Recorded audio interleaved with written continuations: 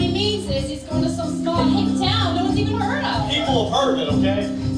Well, what's the name of it? You can find on any map. What's the name of it? Folks are flocking there from all over. Uh-huh, what's the name of it? Beaumont. Beaumont?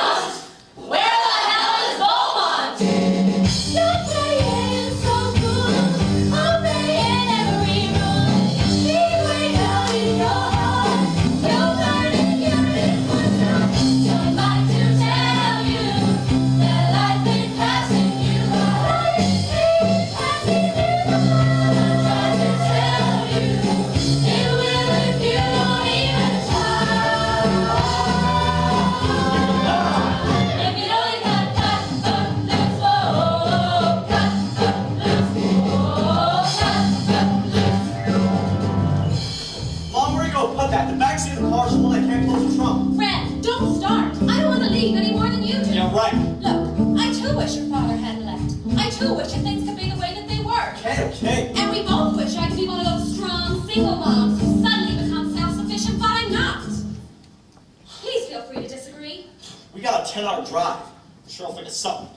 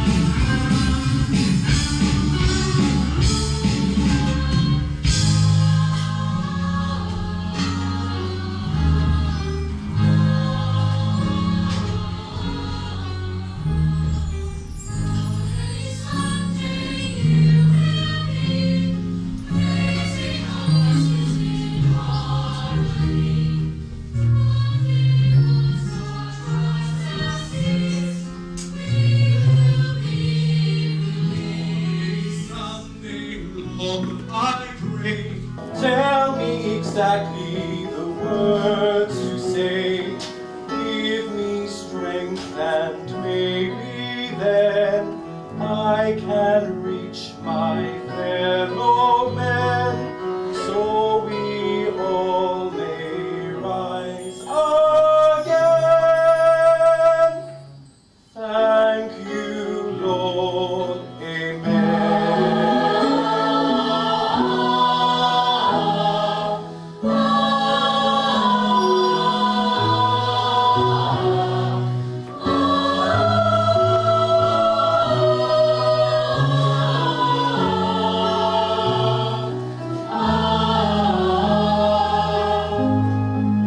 morning, Beaumont. This morning I took the long way to church, down past the old creek. I heard the birds chirping and our own choir warming up in the distance. I was reminded of the words by a great poet, Walt Whitman, who once wrote, I hear America sing. And I thought to myself, aren't we the song that we sing?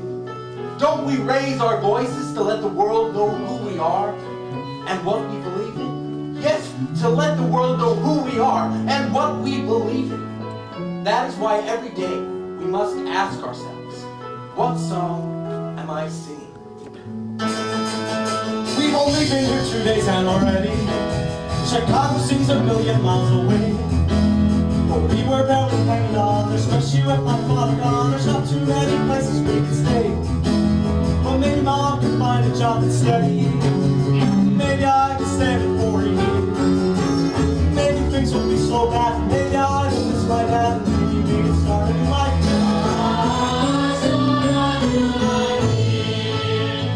But if Walt Whitman were alive today, what song would he hear America sing? When I turn on the television, all I hear is music of easy sexuality and relaxed morals. I hear rock and roll and the endless chant of pornography. And surely we all know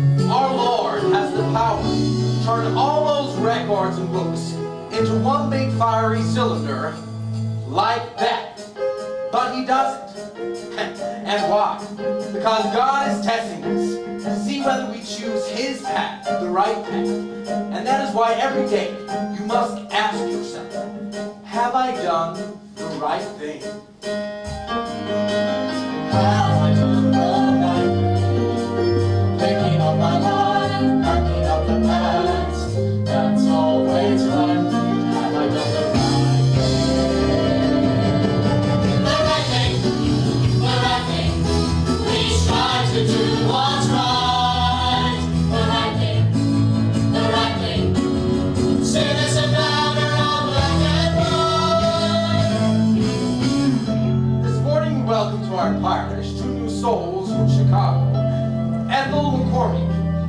And her son, Ron, is it? Ren. Let speak up. Let the Lord hear your voice. Ren. Ren McCormack. Ren. Interesting name. Is that short for something? No.